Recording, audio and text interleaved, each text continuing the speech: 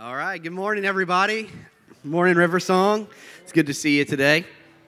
It's nice to have some uh, some good weather out there finally, and uh, I didn't even wear a coat in here today. It was super cool. So, as uh, we got a great service uh, planned for today, uh, really good worship, and we're going to worship. The word of the day in worship is that we were not called to worship or live with a spirit of timidity, but one of strength and power. And so we're going to worship that way this morning. And uh, we've got communion this morning, uh, so that's great. If you did not get um, communion things on the way in, just uh, go back to the back there or raise your hand and Darren will bring it out to you. Uh, little cups with the wafer built into it, so we can do that here shortly. And as an added bonus, we're going to get two sermons today one from Dave Dingman and one from Pastor Jim. So, super cool.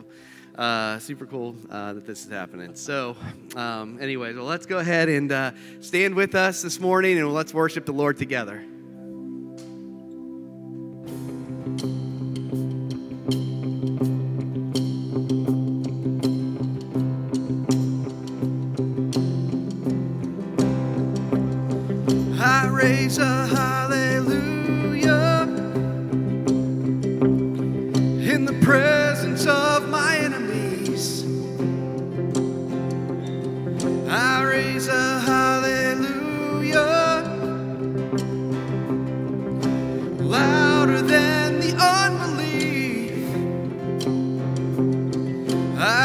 A hallelujah.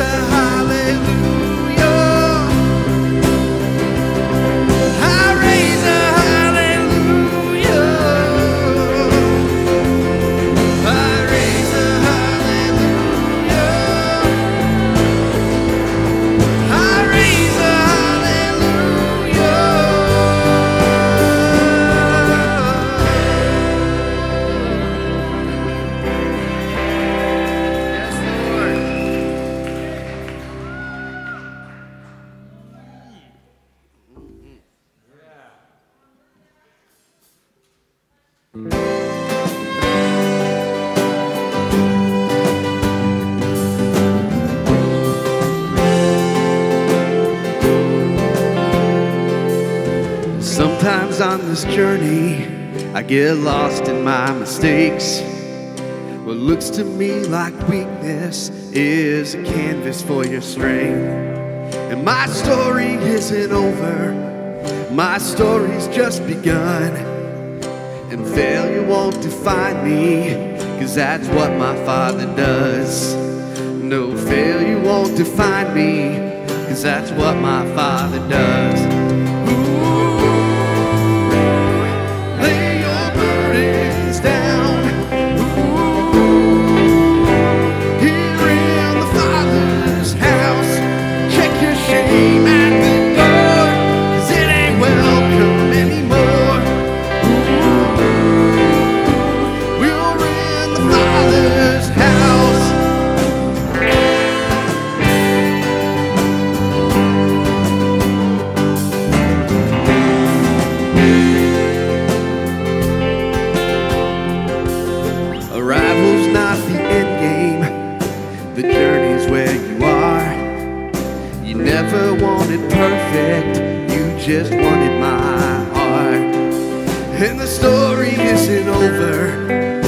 the story isn't good.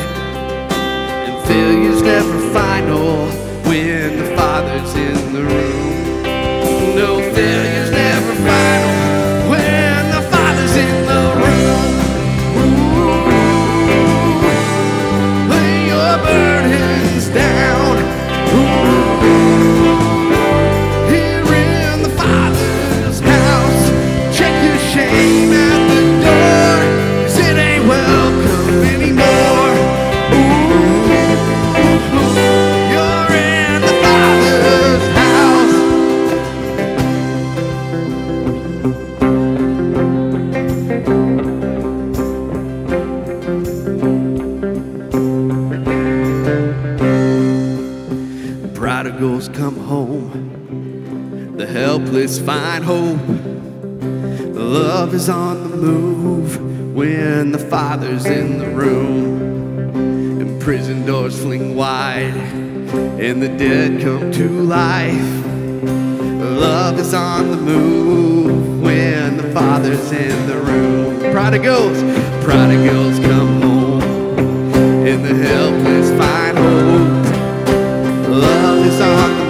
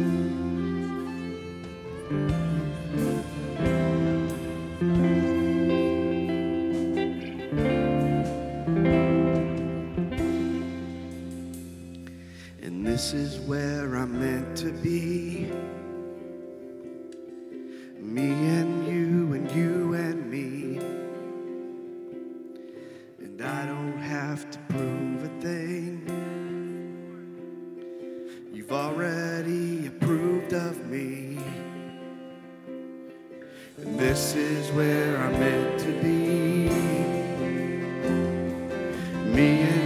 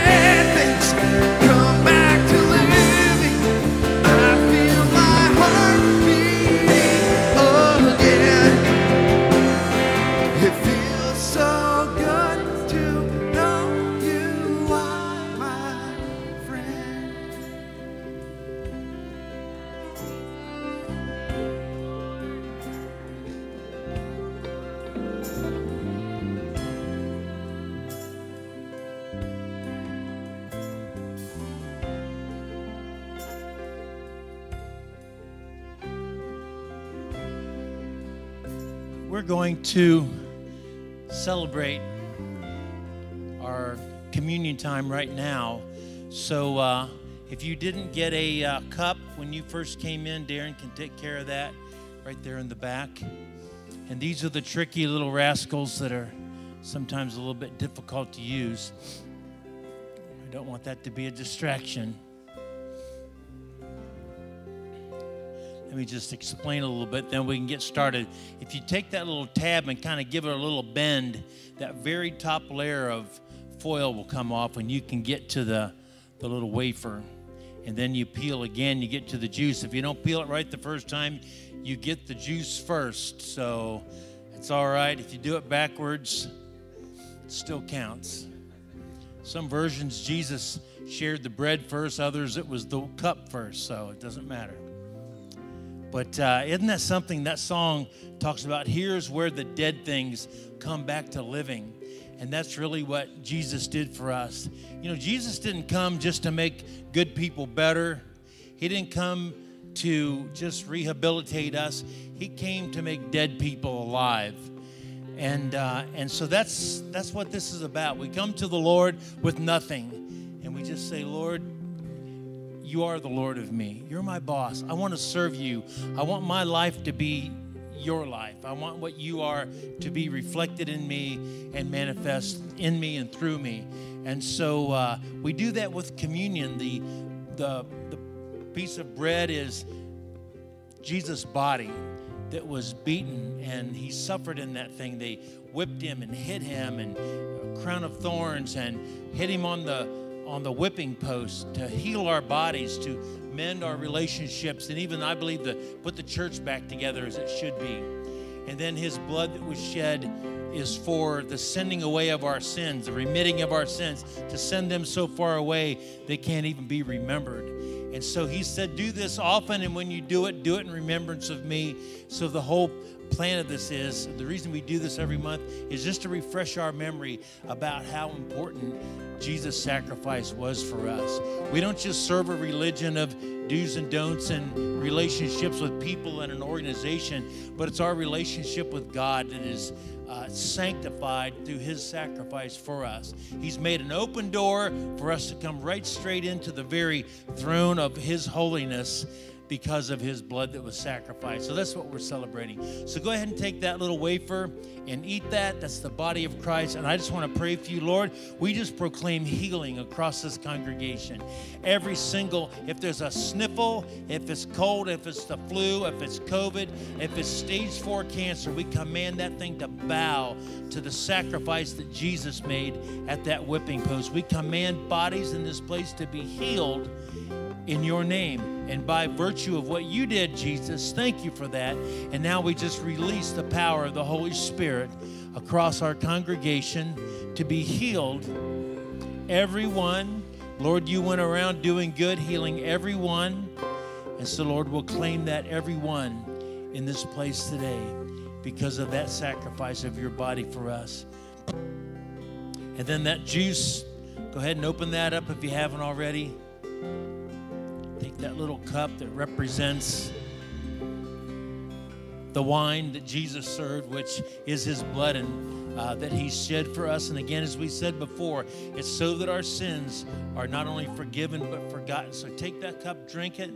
Lord, I thank you that you've demonstrated to us the love of the Father, that he is willing to sacrifice you, his only Son, so that we can have a relationship. Our sins can be expunged, washed away, remitted, sent away forever. And Lord, we celebrate that. Lord, I thank you for everyone in this place. We pray for every heart that there will be no condemnation. Like the song we sang, there's no place for shame. It has no place around here anymore. It's out because the blood has cleansed us. So we celebrate you and we honor you, Jesus. Praise God. Continue to worship.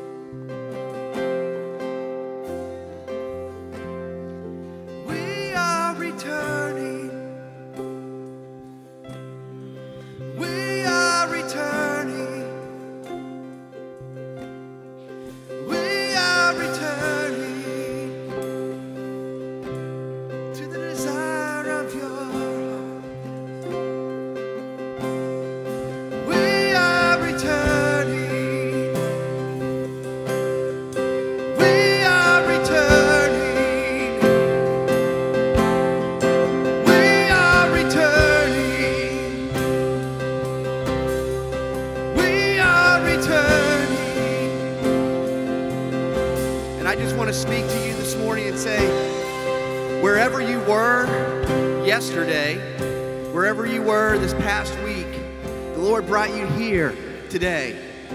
you into this room today to experience Him today. So, wherever you've been and whatever you're doing, whatever you've done, you have the chance to return. And He's calling you home. Doesn't it feel good to be exactly where you're supposed to be right now? Doesn't it feel good to be exactly where the Lord wants you to be right now? Doesn't it feel good to know that no matter what's going on out there and what you've done, what your past looks like, that your future can be completely surrounded by the favor of the Lord and you can walk boldly into the rest of rest of your life, into the rest of your, into your workplace, into your family and say, I've returned to the King.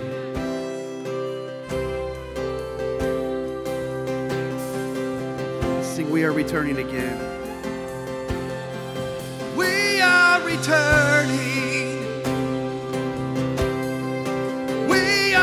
Returning. We are returning. We are returning. We are returning.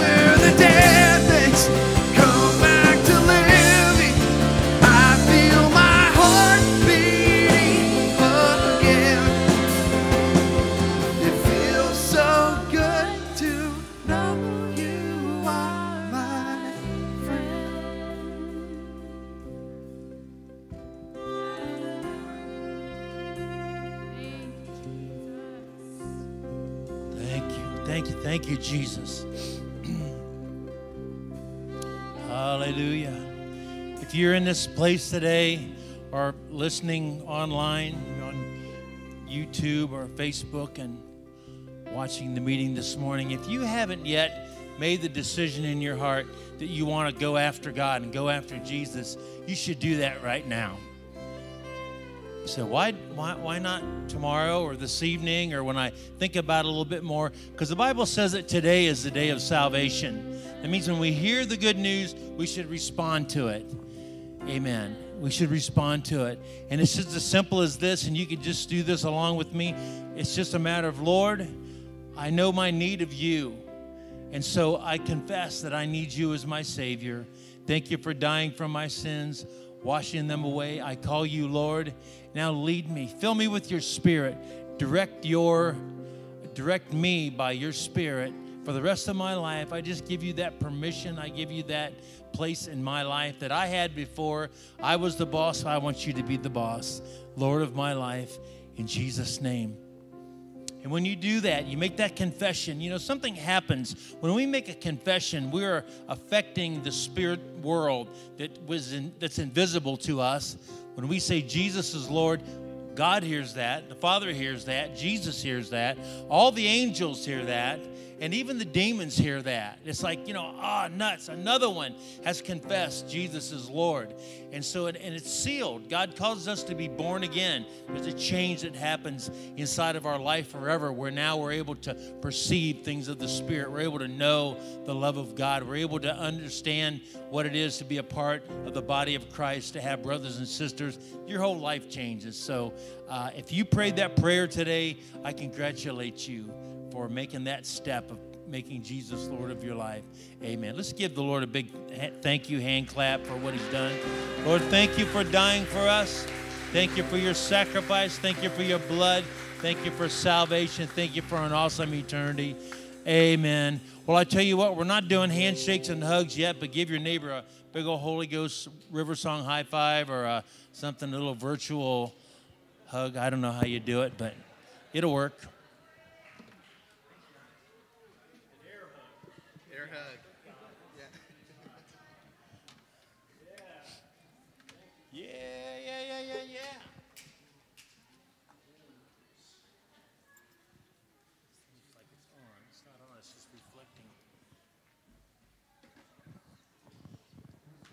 All right. Good to see you all. Just a few quick announcements here before offering time. We do, I want to mention to you that we are still collecting food.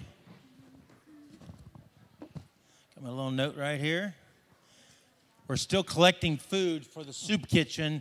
And so, out on the kiosk, you can find these little slips, and it has on here uh, suggestions. There's some things they can use, some things they can't. So, if you go by the uh, the sheet, it'll sure help you a lot. But uh, canned fruit and canned pork and beans, and you got the Vienna sausages, granola bars, all kinds of things that's on the list. I'm getting hungry. If you have any questions, see Kathy Dennis. Kathy this morning is probably with Tim back here in the back. Good to see Tim on the board. Thank you very much, sir. And who's up there? We got Courtney on sound. Let's give these guys a thank. They're kind of behind the scenes.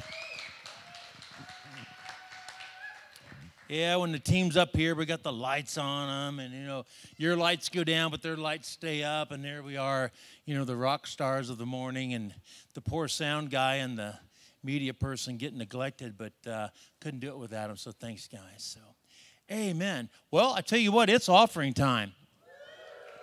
And uh, as Rob mentioned earlier, our friend Dave Digman is going to help us with offering today. So let's give Dave a big old welcome. We appreciate Dave and Sarah and the kids. All right, I'm excited. There was a, uh, a story of a church that hadn't quite met budget in a while, and um, much like Riversong, they, they asked different people to introduce offering, and this guy jumped up, said, Don't worry, I've got you today, Pastor. Got up and he said, We're going to do offering a little bit different today. I want everybody to stand up. I want to reach your hands forward. No, I'm, this is part of the joke. But you can if you want. You reach your hands forward, grab the wallet out of the pocket of the guy in front of you, and give like you've never given before. So I, that doesn't quite translate in the digital age somehow. Might have to take his phone or something. I don't know. Uh, I kind of wrestle with this all week. You know, there's so many aspects to to uh, giving, and I appreciate here at Riversong that we're excited about it and enthusiastic. And I, I noticed that the that here we seem to emphasize tithes. I've been in other congregations that really emphasize sacrificial giving. You know, uh, there's emphasis on cheerful giving, and um, is, it, is it to meet budgets? Is it to uh, employ staff? Is it to feed the poor? Is it to uh, engage in outreach? There's all these different aspects to it, and uh, you know, I wrestled through this. What, what do I want to emphasize? And I wasn't getting an answer on it. So I started, all these things are good, but I felt like there was something that was missing. And I kind of wrestled with it all week, and I, I started studying. And usually that's clarifying to me to study, but in this case it was not. It just got more and more complicated. Well, you know, they, they, they tithed on their crops, but they actually ate the tithe themselves. And then, you know, every third year some of it was for the Levites, and then every sixth year there was an extra one for the ah, then this stuff doesn't really seem to translate very well. And it just, so I started thinking, well, what, what have I been taught? You know, and I thought, okay, I know what I've been taught as an adult. I've just wrestled through those things. Let's go back to my teenage years. Eh, nothing really there. I don't remember anything. Grade school, not so much. I'm, I'm getting way back now. So then I'm, I find myself reminiscing about, uh, uh, you know, it probably was kindergarten, maybe back then. I'm thinking about Sunday school. And there's three things that really stood out to me. One was this awesome new game called Duck Duck Goose, which uh, we promptly got restricted and then banned because of the reckless way we played it. Uh, two, this other poignant memory, it had to have been, I think it was an Easter Sunday. There was this girl in a white dress. She gave me this funny look and then she threw up on the carpet in front of me. It was bright pink. And I remember thinking, that's unnatural and she's gonna die. And second one did not prove true. The first one was true. She later confessed she had eaten a second bowl of Barbie cereal that morning. I looked it up. It really did exist. I didn't remember it wrong. But then it hit me all of a sudden like a ton of bricks. Uh, my Sunday school teacher, Lois Stockwell, um, with her little plastic bank, and she'd bring it out, and if you were had really been on ball, or your parents had been on ball and given you a, a coin to put in there, she would walk around and she would sing, I'm giving, I'm giving because I love Jesus. I don't know if anyone else remembers that. That's a real song too. I looked it up. It does exist. So I didn't remember that wrong either. And that's what hit me though. The, the, the encompassing, what, what are all these things encompassed, encompassed in? Obedience, cheerfulness, sacrificial giving, uh, meeting the needs of the poor, meeting the needs of your brothers and sisters. All these things in giving, they all should be done out of love love for Jesus. How did he show his love for us? He gives. He gave his son, he gave his law, he gave provision. Um, and, uh, and I think that that's really what I, what I want to emphasize. And I think that Riversong is really good at that. Um, I believe in your own spiritual journey, uh, at different times, God will emphasize some of these different aspects when it comes to, comes to giving. There's a, there's an anecdote that's told of a uh, bishop, uh, an Amish bishop. And uh, he had a meeting one Sunday with his congregation, and he said, Today I want each person to stand and share how their faith is progressing. So one by one, they stood and gave a testimony about how their faith was progressing. Um, but there was one guy who sat in the corner, with his arms folded. Finally, he was the only one left who hadn't shared, and the, uh, the bishop called him out and said, uh, Brother Jacob, could you uh, tell us how your uh, faith is progressing? And he slowly stood to his feet and he said, Well, I cannot say that I am progressing, but I can say that I am firmly established. Well, they had a little chuckle, and uh, after the meeting concluded, uh, the bishop shut down and was heading back to his house in his buggy, and he came upon Brother Jacob off the side of the road, stuck in the mud. And he couldn't resist the uh, temptation to lean out and said, Brother Jacob, you are indeed firmly established. So uh, let's make sure our faith is progressing. All right? And one of the ways we do that is um, by giving. So let me pray. God, we thank you for the opportunity uh, to give. We pray that you would increase our faith and our love uh, through this act of obedience. Thank you for the people at Riversong and their generous and cheerful spirit. In your name we pray. Amen. Thank you, sir. That's awesome. Amen. Reach your hand out. Take the billfold from your brother in front of you. That's great. Let's do that. Well, you see all the ways here we can give. Uh, Darren also has a basket at the back if you have cash or an envelope, and you can drop it in there. But God bless you for being such wonderful givers. Uh, just one other announcement I didn't make earlier is we, we are going to be having our 5 p.m. prayer right here at Riversong Church and praying for our nation, praying for our world, and uh, praying for a revival. It's been a really good prayer meeting. Some prayer meetings are a lot of work, and that doesn't mean they're bad because prayer is work. Sometimes prayer is just uh, travailing and, and interceding, and it's a lot of work, but sometimes prayer can be very exciting, especially when you're praying in a group. We usually uh, set in a circle and we can hear our brothers and sisters pray and to hear what God is bringing uh, out of them. Uh, you know, we pray that the Lord will give us a. Um, an input. We don't know what we should pray for as we should, but the Holy Spirit will help us. So when we pray, it's just really a good thing. So uh, you're invited to come tonight, and we just pray five to six, so you still have your evening after that. It's really super good. Speaking of praying, Sister Viv's our uh, as our uh, super prayer example around here, she has something she wants to share with us. So better come over here in the light. Backing up, backing up. And how about use that right there? There you go. You've been getting some good use out of this Bible. Did you guys see this thing? Good morning. Let's just pray in the Spirit for a little bit. Shimanamakaramasete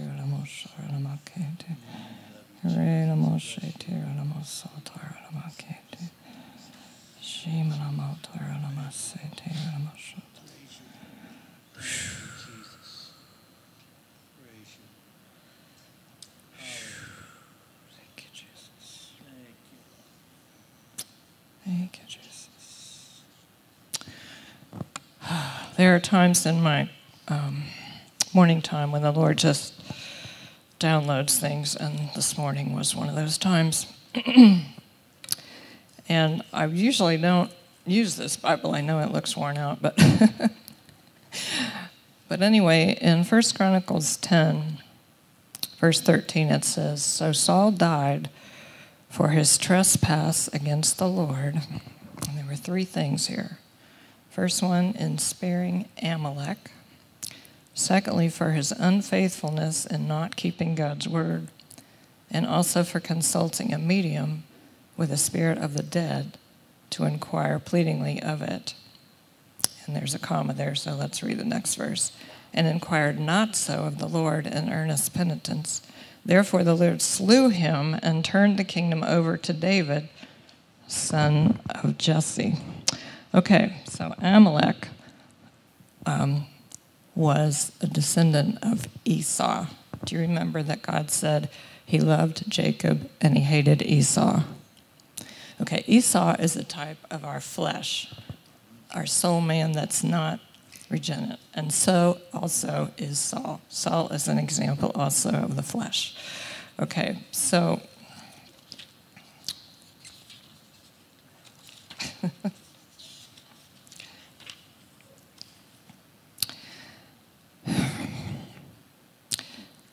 So I want us to think about um,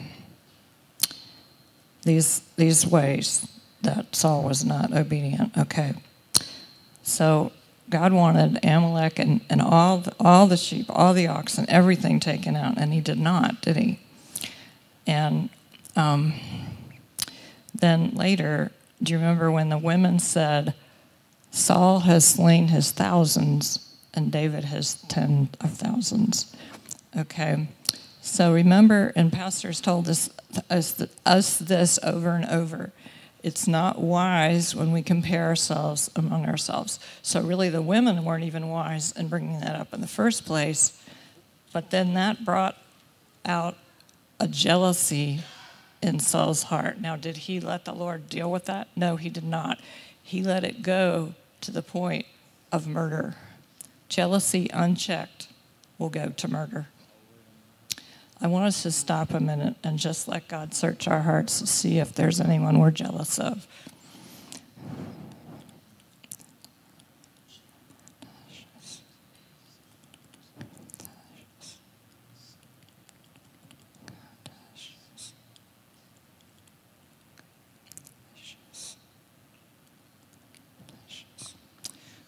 Okay, so one of my other favorite verses is in Psalm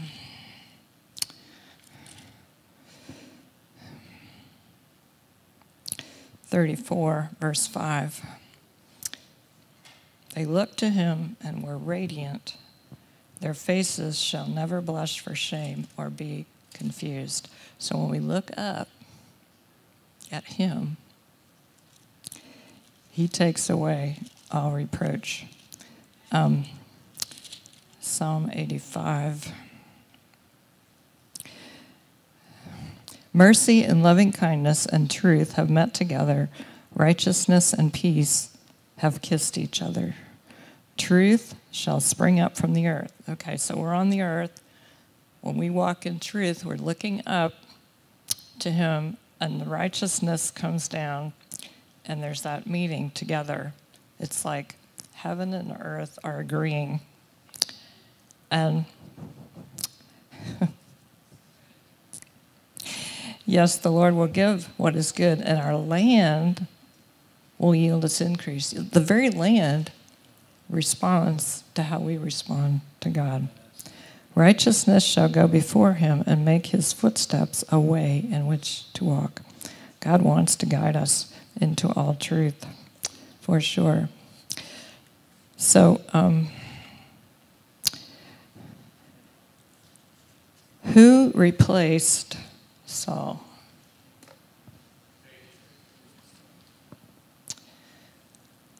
Let's think about the differences between them.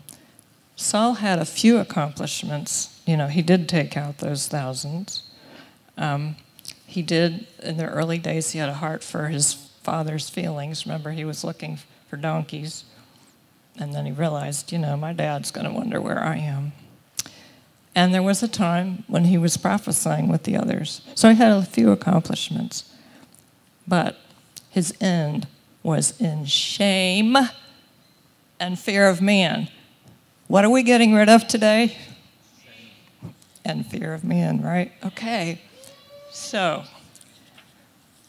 God wants us to have David on the throne of our hearts, the spirit of David. In other words, a man who is hungering and thirsting for his, um, his presence.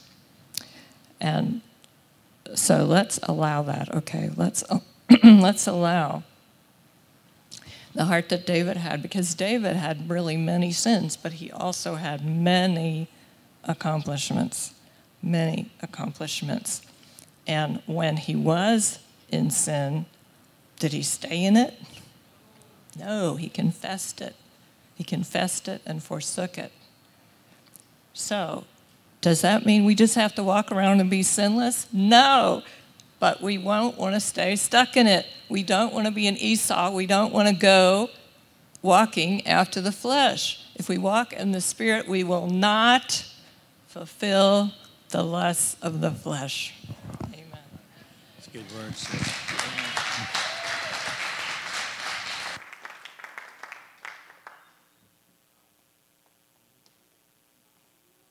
All right. Yes. Amen. That's a good word. All right, children, you're being dismissed. Thank you, Mr. Mike, for taking care of our kids. So let's give Mr. Mike and the kiddos a, a thank you. Be blessed.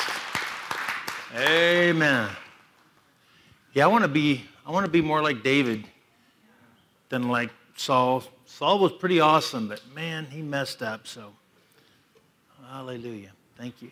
Hey, so um, wow. I told the uh, team in the huddle this morning that uh, I'm going to preach something that uh, uh, is new, but it's not new. It'll be a surprise, but not really. And what I meant by that uh, is that two weeks ago, um, of course, last week we had Aaron here. That was really super amazing. He sharing with us about uh, music and African American church and and all that. It was just spectacular. The week before that, remember I preached about the lost axe head, and we read the verse there from uh, 2 Kings where the prophets went down and, and began to cut down logs to build a, a bigger house. And uh, then we did the demonstration, and uh, you know, with a nice sharp axe, you can make a big old mess. But if the axe head flies off, you're just beating on that piece of wood with a stick with the handle, and um, you know nothing much is accomplished with that and so you know that was the message. And so um, but i begin to get some feedback and i always appreciate when people say hey pastor good message really appreciate that. But in some conversations and some feedback i was getting i think that i wasn't making myself clear and people came away with an understanding of that message which was something i wasn't saying really at all. And so, what we're going to do today, I, I, titled my message today, The Lost Axe Head, uh, Lost Axe Head um, 1.2. So, we're going to go, go back in and uh, clarify a few things. And you'll know just what I'm talking about as we roll into this. and uh, I think it's going to be more fun the second time through than it was the first time. And um, so, Lord, we just thank you so much for your word. And we thank you that your word is this sharp, two edged sword that pierces all the way in and, and really reveals to us, like Viv was saying, what part of us is just living in the flesh and what part really truly is of you. So we pray that your word would be clear today. Help me to be clear in my speaking and then everyone in the house clear with understanding. And so uh, we can just glorify you and praise you so much for what's happening today. In Jesus' name. Honey, can I have a pen? You thought I was calling Jesus honey?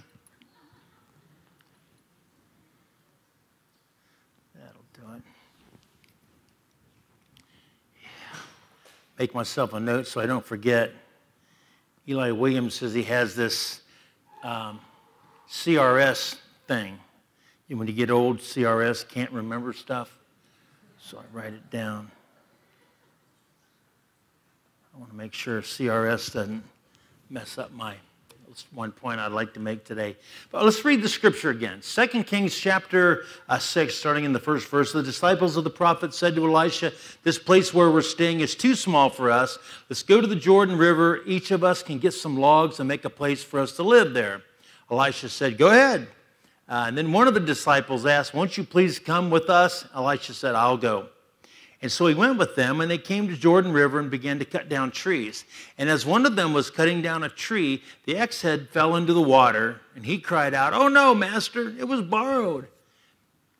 And the man of God asked, So where did it fall? And when he showed Elisha the place, Elisha cut off a piece of wood, threw it in the water at that place, and made the axe head float.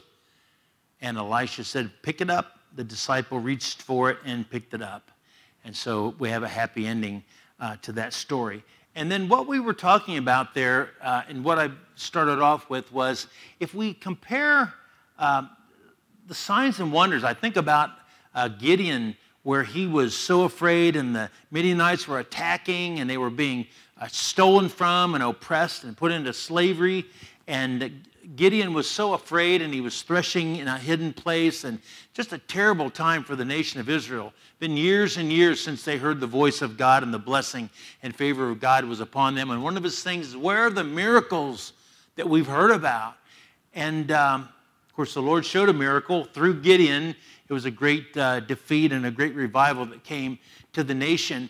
But sometimes I feel that way. Lord, where are the miracles? Where are the salvations? I hear about what's going on in Paraguay, what's going on in, in, um, in India, and in the, the hidden persecuted church in China. Lord, what's going What about Springfield? Well, you know, we want to see souls saved, uh, tens of thousands of souls coming to the kingdom and to see the work of God, see miracles happening, that people with all the dread diseases and blindness and lameness, all those things happening. We read about them in the Bible. Where are these miracles? And so when we compare it, and Viv said, don't compare yourself with others, but we're comparing ourselves with what God said we can be, should be, ought to be, will be, I'll say will be, from the Word of God. And so then the point I began to make with the demonstration was that once the axe head flies off and we're just beating at the situation with a stick, we're not going to cut anything. And we'll spend a lot of energy, we'll make a lot of noise, uh, sweat a lot, we'll get calluses on our hands, but we're not getting any wood cut. And so, um, so here was the point. So what was missing? What was the difference between when they were getting the work done, all of a sudden they weren't? Well, the axe head flew off and it went in the water, and you know about the miracle, threw a little branch out there, and the axe head began to swim, which I would like to see that. When I get to heaven, I'm going to push that VCR tape in. Might be on a DVD, or it might just be on a thumb drive. But somehow I want to see, Lord, can I see that? That sounds like a pretty cool scene. And we'll see what that looks like. but what we begin to teach on is that the axe head, just like Viv was just sharing, is walking in the Spirit you'll not fulfill the lust of the flesh. The stick, the wooden handle, is the flesh. And uh, so Jesus said, The Spirit gives life. This is a verse we used uh, two weeks ago. The Spirit gives life, and the flesh counts for nothing. So here's what I really want you to get. I think that we missed the last time. The axe head went away. There's no more axe head. It's gone. He's beaten on it with a piece. Well, maybe uh, maybe once he hit it with wood. He didn't actually try to cut down a tree with the handle, but it wouldn't have worked. The axe head was gone. Jesus said the Spirit gives life, but the flesh counts for nothing. So you have life. Life is really good, isn't it? And the flesh is nothing. So it's everything and it's nothing. Either the axe head's on or the axe head's off. The words I've spoken to you, they are full of spirit and life. Remember, we read about Paul said that my preaching, my speech and preaching was not with enticing words of man's wisdom, but with demonstration of the Spirit and power. So it wasn't his brain, it wasn't his education, it wasn't even his experience, but it was the, the manifestation of the power of God. So there's a vast difference there. in how well you can think and talk and teach and, and you know, brain power is one thing, but the demonstration is totally different. He talked to the people at Athens and, uh, and he talked to them and nothing happened. So it was a great message, but yeah, but nothing happened.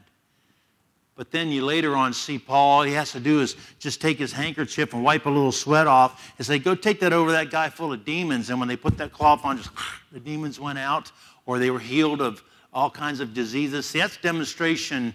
That's not, man can't do that. You know, when demons go out and lame people begin to walk and, and even people getting born again, you don't do that through the power of the flesh. That's a work of the Spirit of God. So Paul said, not this, but that.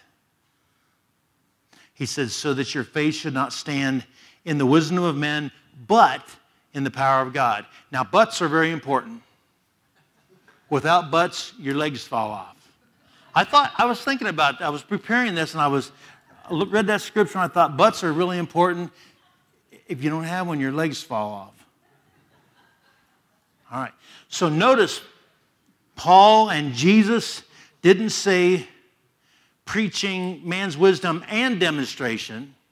It didn't say the flesh and the spirit, but he said, but. It is one is not that, but this. So it's in and out, on or off. It's an uh, uh, one or a zero, an I or an O. That's the way it's very, what's, what do you call that? Binary. You're either in or you're out. Here's where the misunderstanding was. That what kept coming back to me was, yeah, Pastor, I really like that message. I need to get sharpened up. I need to get to the sharpening stone. I need to sharpen my life. I feel a little bit dull. I've been just felt a little like I've lost my edge. I thought, oh my gosh, that's not what we were talking about. Remember, we said earlier in the service, Jesus didn't come to rehabilitate people. He came to uh, make dead people alive. So that's, that's, you see the difference? We're not talking about, you know, taking, you know, uh, Jeremy and making Jeremy a little bit better. We want Jeremy in the waters of baptism to be dead and gone, and then Jesus raised from the dead, and now we've got a whole new creature in Christ Jesus. See, there's this, you understand the difference there. It's, it's not uh, taking Jeremy and polishing him up a little bit and uh, saying, boy, doesn't he look a lot better? Uh, that wouldn't have worked for me. You could have done all kinds of things to rehabilitate me and make me better before I knew Jesus, and it still would have been a real ugly mess. But Jesus saved me when I received him as